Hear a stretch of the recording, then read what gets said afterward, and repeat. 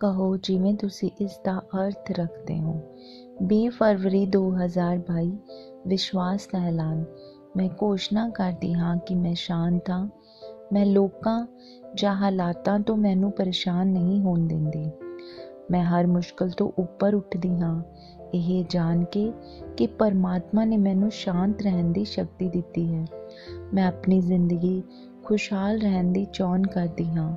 ਜਿੱਥੇ ਮੈਂ ਲਾਈ ਗਈ ਹਾਂ, ਉੱਥੇ ਖਿੜਦੀ ਹਾਂ। ਸ਼ਾਂਤ ਰਹੋ ਅਤੇ ਦੇਵਦੂਤ ਸੈਨਾਵਾਂ ਦੀਆਂ ਫੌਜਾਂ ਨੂੰ ਮੇਰੀਆਂ ਲੜਾਈਆਂ ਲੜਨ ਦਿਓ। ਇਹ ਮੇਰਾ ਐਲਾਨ ਹੈ। ਦਿਮਾਗੀ ਸਿਹਤ ਸੰਬੰਧੀ ਵਿਚਾਰ। ਮੈਂ ਰੱਬ ਦੀ ਬੱਚੀ ਹਾਂ। ਮਹਿਮਾ ਜੀਵਨ ਲਈ ਪੈਦਾ ਹੋਈ। ਮੈਂ ਮਸੀਹ ਦੇ ਜੀਵਨ ਲਈ ਪਰਮੇਸ਼ਵਰ ਦਾ ਧੰਨਵਾਦ ਕਰਦੀ ਹਾਂ, ਜੋ ਮੇਰੇ ਵਿੱਚ ਤਾਕਤ ਨਾਲ ਕੰਮ ਕਰ ਰਿਹਾ ਹੈ। ਮੈਨੂੰ ਅਵਿਨਾਸ਼ੀ ਅਤੇ ਬਿਮਾਰੀ ਅਤੇ ਕਿਸੇ ਵੀ ਕਿਸਮ ਦੀ ਕਮਜ਼ੋਰੀ ਲਈ ਅਸੰਵੇਦਨਸ਼ੀਲ ਬਣਾਉਂਦਾ ਹੈ। ਆਮੀਨ। ਮੈਂ ਯੀਸ਼ੂ ਦੇ ਨਾਮ ਤੇ ਜੋ ਮੈਂ ਕਹਾਂਗੀ, ਰੱਖਾਂਗੀ। ਮੈਂ ਮਜ਼ਬੂਤ ਹਾਂ, ਮੈਂ ਤੰਦਰੁਸਤ ਹਾਂ, ਮੈਂ ਤਨ ਹਾਂ, ਮੈਂ ਸ਼ਕਤੀਸ਼ਾਲੀ ਹਾਂ, ਮੈਨੂੰ ਨਿਯੁਕਤ ਕੀਤਾ ਗਿਆ ਹੈ, ਮੈਂ ਆਜ਼ਾਦ ਹਾਂ, ਮੈਂ ਰੱਬ ਦੀ ਪਿਆਰੀ ਹਾਂ, ਮੈਨੂੰ ਰੱਬ ਅਤੇ ਮਨੁੱਖ ਦੁਆਰਾ ਪਸੰਦ ਕੀਤਾ ਗਿਆ ਹੈ, ਮੈਂ ਉਹ ਬੋਲਦੀ ਹਾਂ ਜੋ ਮੈਂ ਵੇਖਣਾ ਚਾਹੁੰਦੀ ਹਾਂ। ਉਹ ਨਹੀਂ ਜੋ ਮੈਂ ਵੇਖਦੀ ਹਾਂ। ਮੈਂ ਇੱਕ ਕੀਮਤੀ ਬੀਜ ਹਾਂ। ਮੈਂ ਆਪਣੇ ਪਰਮਾਤਮਾ ਦੇ ਘਰ ਵਿੱਚ ਚੰਗੀ ਜ਼ਮੀਨ ਤੇ ਲਗਾਈ ਗਈ ਹਾਂ। ਮੈਂ ਆਪਣੇ ਪ੍ਰਭੂ ਦੇ ਦਰਬਾਰਾਂ ਵਿੱਚ ਹਥੇਲੀ ਦੇ ਰੁੱਖ ਨੂੰ ਪਸੰਦ ਕਰਦੀ ਹਾਂ। ਮੈਂ ਇਸ ਦੇ ਸੀਜ਼ਨ ਵਿੱਚ ਬਹੁਤ ਜ਼ਿਆਦਾ ਫਲ ਦਿੰਦੀ ਹਾਂ।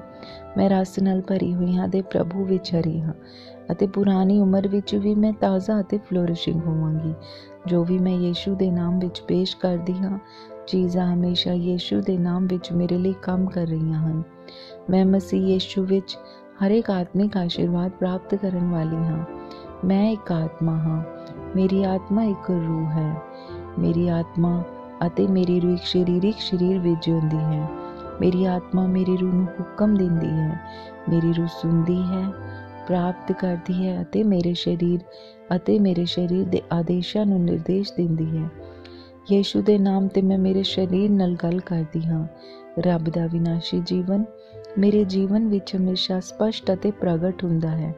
ਮੈਂ ਆਪਣੇ ਸਰੀਰ ਦੇ ਹਰ ਵੇਰਵੇ ਲਈ ਜੀਵਨ ਦੀ ਗੱਲ ਕਰਦੀ ਹਾਂ। ਮੈਂ ਆਪਣੇ ਦਿਮਾਗ ਨਾਲ ਗੱਲ ਕਰਦੀ ਹਾਂ ਤੇ ਕ੍ਰਾਈਸਟ ਦੇ ਦਿਮਾਗ ਦੀ ਤਰ੍ਹਾਂ ਸੰਪੂਰਨ ਬਣੋ ਤੇ ਮੈਂ ਤੁਹਾਨੂੰ ਪਰਮੇਸ਼ਰ ਦੇ ਵਚਨ ਦੁਆਰਾ ਇਕਸਾਰ ਹੋਣ ਦਾ ਆਦੇਸ਼ ਦਿੰਦੀ ਹਾਂ। ਮੈਂ ਆਪਣੇ ਨਸਾਂ ਨਾਲ ਜੀਵਨ ਬੋਲਦੀ ਹਾਂ। ਮੈਂ ਆਪਣੀਆਂ ਮਾਸਪੇਸ਼ੀਆਂ ਤੇ ਲਿਗਾਮੈਂਟਸ ਨਾਲ ਤਾਕਤ ਬੋਲਦੀ ਹਾਂ। ਮੈਂ ਆਪਣੇ ਦਿਲ ਨਾਲ ਜੀਵਨ ਸ਼ਕਤੀ ਬੋਲਦੀ ਹਾਂ। ਮੈਂ ਆਪਣੇ ਫੇਫੜਿਆਂ ਤੇ ਟਿਸ਼ੂਆਂ ਨਾਲ ਆਮ ਆਵਾਦਾਰੀ ਅਤੇ ਪਰਫਿਊਜ਼ਨ ਅਨੁਪਾਤ ਬਣਾਈ ਰੱਖਣ ਲਈ ਗੱਲ ਕਰਦੀ ਹਾਂ। ਮੈਂ ਆਪਣੇ ਗੁਰਦਿਆਂ, ਜਿਗਰ ਅਤੇ ਪਾਚਕ ਰੋਗਾਂ ਲਈ ਸੰਪੂਰਨਤਾ ਬੋਲਦੀ ਹਾਂ। ਮੇਰੇ ਖੂਨ ਦੇ ਹਰ ਸੈੱਲ ਵਿੱਚ ਜੀਵਨ ਹੈ। ਮੇਰੀਆਂ ਹੱਡੀਆਂ, ਜੋੜਾਂ ਅਤੇ ਉਪਸਥਿਤੀ ਇਕਸਾਰ ਅਤੇ ਮਜ਼ਬੂਤ ਹਨ। ਮੇਰੀਆਂ ਉਂਗਲਾਂ ਵਧੀਆ ਢੰਗ ਨਾਲ ਕੰਮ ਕਰਦੀਆਂ ਹਨ। ਮੇਰੀਆਂ ਅੱਖਾਂ ਸਪਸ਼ਟ ਰੂਪ ਵਿੱਚ ਵੇਖਦੀਆਂ ਹਨ ਅਤੇ ਮੇਰੇ ਕੰਨ ਵਧੀਆ ਢੰਗ ਨਾਲ ਕੰਮ ਕਰਦੇ ਹਨ। ਮੇਰੀ ਚਮੜੀ ਇੱਕ ਨਵਜੰਮੇ ਬੱਚੇ ਤੇ ਰੱਬ ਦੀ ਸੁੰਦਰਤਾ ਦੀ ਤਰ੍ਹਾਂ ਮੁਲਾਇਮ ਅਤੇ ਸਿਹਤਮੰਦ ਹੈ। ਮੇਰੇ ਵਾਲਾਂ ਦੇ ਰੋਮ ਕੱਸ ਗਏ ਹਨ। ਮੇਰੇ ਦੰਦ ਮਸੂੜੇ ਜਬਾੜੇ ਦੀਆਂ ਹੱਡੀਆਂ ਅਤੇ ਨਸਾਂ ਤੇ ਖੂਨ ਦੀ ਸਪਲਾਈ ਸਾਰੇ ਸਿਹਤਮੰਦ, ਮਜ਼ਬੂਤ ਅਤੇ ਸੰਪੂਰਨ ਹਨ। ਮੇਰੇ ਸਾਰੇ ਹਾਰਮੋਨਸ ਅਤੇ ਨਿਊਰੋਕੈਮੀਕਲ ਟਰਾਂਸਮਿਟਰ ਇੱਕ ਦੂਜੇ ਨਾਲ ਸੰਪੂਰਨ ਤਾਲਮੇਲ ਵਿੱਚ ਹਨ ਅਤੇ ਆਪਣੇ ਕੰਮਾਂ ਨੂੰ ਆਮ ਤੌਰ ਤੇ ਚਲਾਉਂਦੇ ਹਨ। ਮੇਰੀ ਪਾਚਨ ਪ੍ਰਣਾਲੀ ਸਾਰੇ ਖਾਦ ਪਦਾਰਥਾਂ ਨੂੰ ਹਜ਼ਮ ਕਰਨ, ਸੋਖਣ ਅਤੇ ਗ੍ਰਹਿਣ ਕਰਨ ਦੇ ਯੋਗ ਹੈ। ਅਤੇ ਪਾਚਕ ਰੰਗ ਉਤਪਾਦ ਨਿਯਮਿਤ ਤੌਰ ਤੇ ਬਾਹਰ ਕੱਢੇ ਜਾਂਦੇ ਹਨ। ਮੇਰੀ ਪ੍ਰਜਨਨ ਪ੍ਰਣਾਲੀ ਲੋੜੀਂਦੀ ਮਾਤਰਾ ਤੇ ਚੰਗੀ ਗਤੀਸ਼ੀਲਤਾ ਵਾਲੇ ਸ਼ੁਕਰਾਣੂਆਂ ਦਾ ਉਤਪਾਦਨ ਅਤੇ ਜਮ੍ਹਾਂ ਕਰ ਰਹੀ ਹੈ।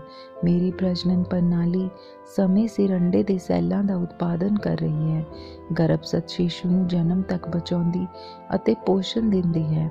ਹਰ ਅੰਗ ਮੇਰੇ ਸਰੀਰ ਦਾ ਹਰ ਟਿਸ਼ੂ ਸੰਪੂਰਨਤਾ ਵਿੱਚ ਕੰਮ ਕਰਦਾ ਹੈ, ਜਿਸ ਦੇ ਲਈ ਪਰਮਾਤਮਾ ਨੇ ਇਸ ਨੂੰ ਕੰਮ ਕਰਨ ਲਈ ਬਣਾਇਆ ਹੈ ਅਤੇ ਮੈਂ ਆਪਣੇ ਸਰੀਰ ਵਿੱਚ ਕਿਸੇ ਵੀ ਖਰਾਬੀ ਅਤੇ ਵਿਗਾੜ ਨੂੰ ਵਰਜਿਤ ਕਰਦੀ ਹਾਂ।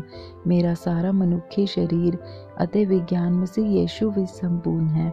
ਹਾਲੇਲੂਇਆ। ਆਮੀਨ। ਪਿਤਾ ਪਿਤਾ। ਮੈਨੂੰ ਪਿਆਰ ਕਰਦਾ ਹੈ। ਮੈਂ ਜਾਣਦੀ ਹਾਂ, ਮੈਂ ਜਾਣਦੀ ਹਾਂ। ਰੱਬ ਦਾ ਪੁੱਤਰ ਮੈਨੂੰ ਪਿਆਰ ਕਰਦਾ ਹੈ। ਮੈਂ ਜਾਣਦੀ ਹਾਂ, ਮੈਂ ਜਾਣਦੀ ਹਾਂ।